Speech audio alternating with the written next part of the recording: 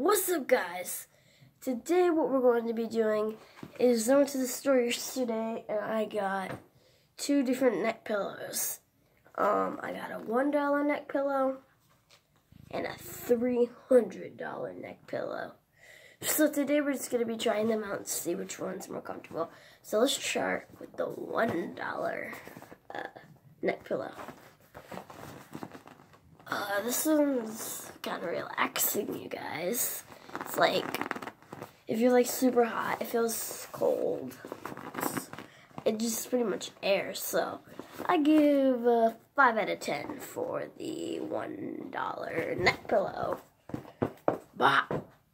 Alright, let's the $300 neck pillow. So, this came with its very own really comfortable black fur. Um, and there's foam inside. So, let's just do. Uh, this feels great, you guys. Because, like, the foam, your neck just sinks in, but it's kind of, like, tough. Like, you just gotta, it's kind of tough to lay on, and it kind of chokes you, so it's kind of tough. So I give, it's alright. It's kind of soft. It's just annoying. I don't like it. It's alright.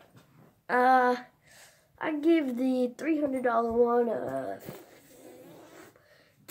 like uh, a four out of ten. So I give the three hundred dollar one a four out of ten.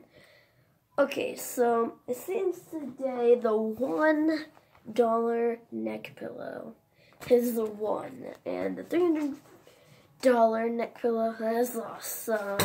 I recommend you guys buy this one because it's a lot more comfortable. Um, so yeah. Thanks for watching this video. Please like and subscribe and comment down below. Stay cool. Oh.